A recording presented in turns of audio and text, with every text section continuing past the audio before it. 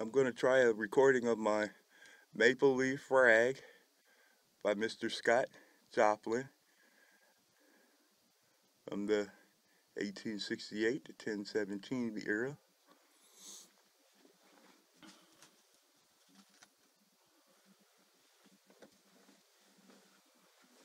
I hope that maybe one day I'll have this clips together.